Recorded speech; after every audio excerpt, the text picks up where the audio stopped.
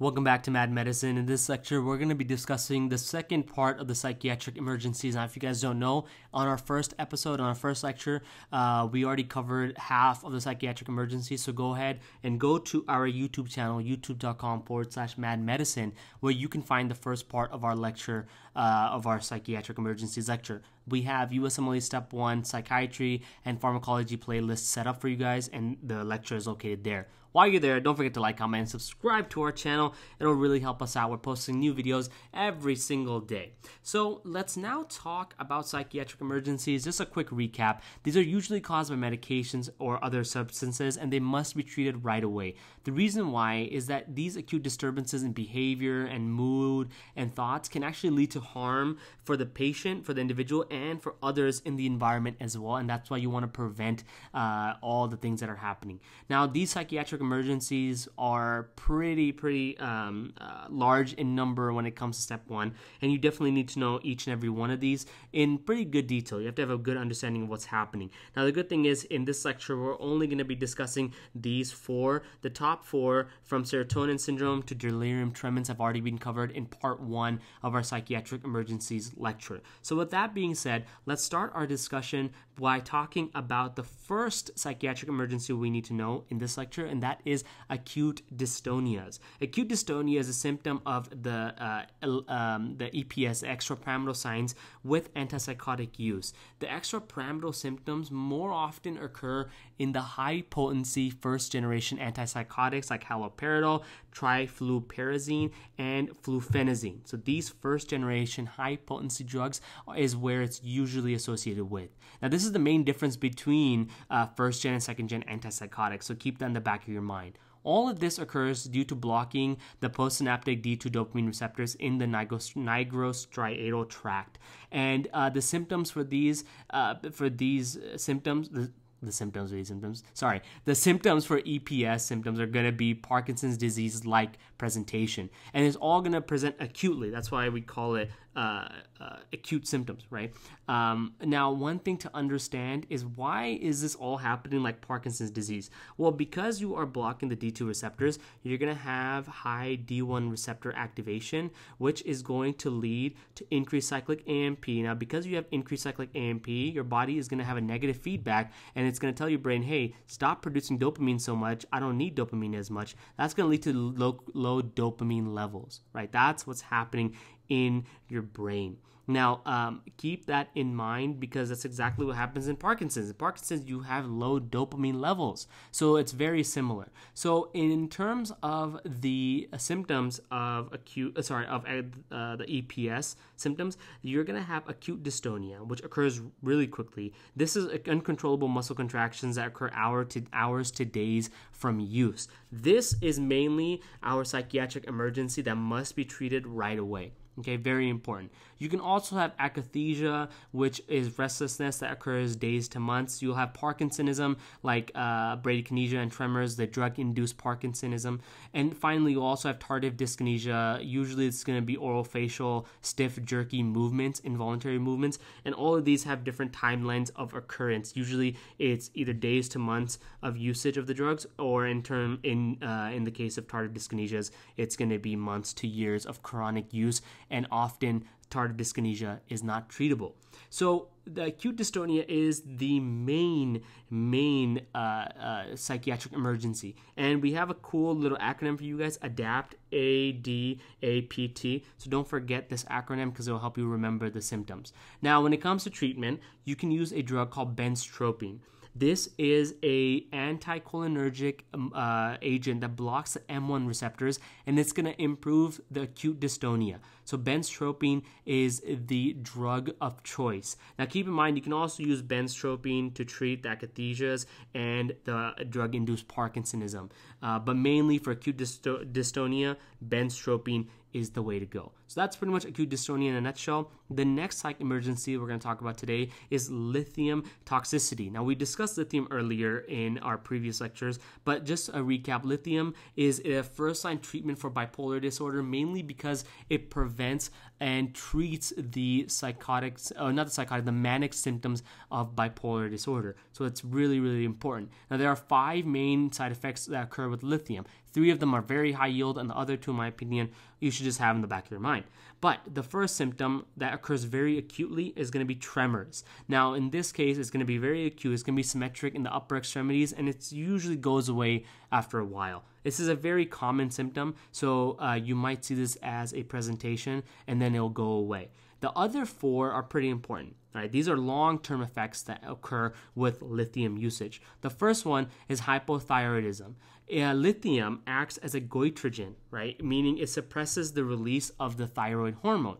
Now, what ends up happening is patients are going to present with the classic hypothyroid symptoms, right? They're going to feel really tired. They're going to probably be gaining weight. So, when you see that symptomology, the way you're going to treat lithium toxicity uh, or hypothyroid induced, lithium induced hypothyroidism, excuse me, is going to be simply by giving those patients levothyroxine. That's it right? They have low thyroid levels, and the simplest way to treat low thyroid is by supplementing thyroid. So you're gonna give levothyroxine. You don't want to stop lithium in this case because there's a very a there's a very simple fix, and b these patients usually need lithium in order to function properly and in order to prevent the re- the recurrence of those bipolar manic symptoms. So you want to not stop lithium in patients who have hypothyroidism.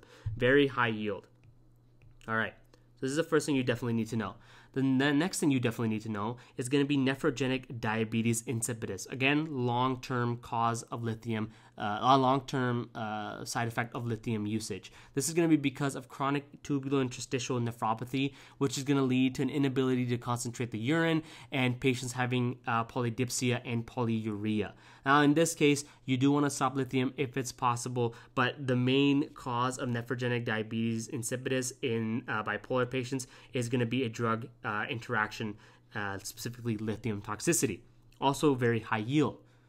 The next side effect is the cardiac side effects of long term use, which is going to be suppression of the sinus node, leading to bradycardia and syncope. And finally, the last thing you need to know, very high yield, is going to be Ebstein's anomaly.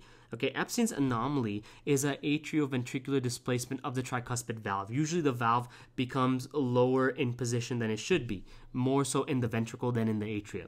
Now, this is because lithium is teratogenic and it can completely equilibrate across the placenta. So, in pregnant patients who have bipolar disorder, you want to get them off of lithium. Okay, that's very, very important. In this case, you also want to stop lithium in pregnant patients. So, that's lithium toxicity in a nutshell. The next, uh, the third of the four psychiatric emergencies is going to be the tricyclic antidepressant toxicity.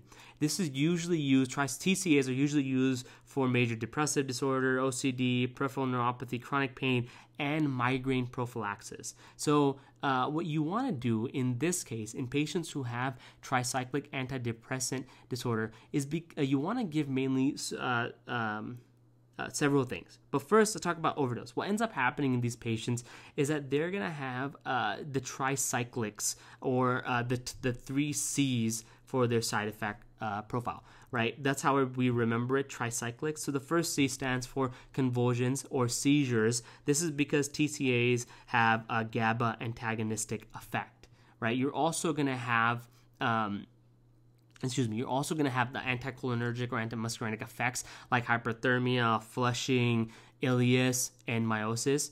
You'll also have patients who present with alpha 1 blockade, like uh, hypotension, orthostatic hypotension, or coma and death, even in certain cases. So, this is the second C, coma. And then you'll have patients who present with prolonged QT interval, which will lead to eh, arrhythmia and torsade de pointes. And this is the cardiotoxicity portion, right? This right here. And then finally, this can also, uh, this is all due to blockade of the cardiac sodium channels, by the way. The prolonged QT is happening because TCAs are going to block the cardiac sodium channels and it's going to act similar to a type 1 antiarrhythmic, okay? So um, that is what's happening here. And then you can also have depression with TCA toxicity. Now, when you're treating TCA toxicity, you want to first look at the supportive care, meaning make sure the patient is okay, their vitals are good, their EKG is good, because you want to make sure they're not having QT prolongation, they're not going into an, uh, an arrhythmia or having torsade de pointes occurring. Then what you want to do is make sure the patient is on sodium bicarbonate. Now the extra sodium is going to overcome the TCA uh, sodium channel cardiac sodium channel blockade That's why you want to give sodium bicarbonate. And you can also give uh, activated charcoal in order to bind to the, the TCA and inactivate the whole substance itself. So that's one way you can also treat TCA toxicity. Usually, when it comes to step one, remember, try to keep this in the back of your mind sodium bicarbonate is given in order to overwhelm the uh, sodium channels by binding it with sodium instead of uh, um, the tricyclic antidepressant binding to the cardiac sodium channel. So, sodium bicarbonate is very important for tricyclic antidepressants. Now, finally, the very last psychiatric emergency is going to be suicidal thoughts and uh, suicidal tendencies. Now, nearly 45,000 people in the United States have suicidal thoughts. Uh, at all times, and this is a, a, huge risk factor and warning. Now, usually, suicidal thoughts can occur in mental disorders, especially like major depressive disorder, substance abuses can cause it, or even psychiatric disorders like schizophrenia. Now, what another thing you want to watch out for as far as risk factors are going to be someone who's had a previous attempt. This is probably one of the highest highest uh, side effects or the highest risk factors, excuse me, of suicidal thoughts of someone committing suicide. So you want to look at previous suicide attempts people who are gay, lesbian, part of the LGBTQ community are also at a higher risk simply because of the societal factors that are associated with the LGBTQ community, even in this day and age if they have a personal uh, history of physical abuse or sexual abuse, at a higher risk. And then if they have a family history and uh, of suicidal behavior, they're at a higher risk. Now, immediate psychiatric evaluation or hospitalization is indicated when a patient says that they have a plan made to kill themselves. When they have an intent to die with a plan, you have to intervene. It's very, very important because that is classified as a psychiatric emergency. The reason why I am putting this statement right here is because while I was studying for step one, I remember vividly on one of the test banks, I got a question that asked me about a patient who told me that he planned to kill himself on uh, the anniversary of his wife's death.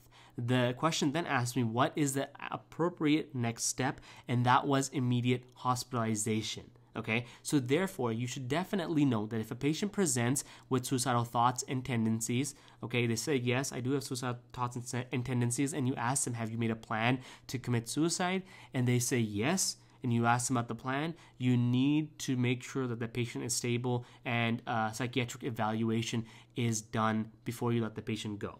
So, that is the last of our psychiatric emergencies that you need to know about. Thank you so much for watching and listening.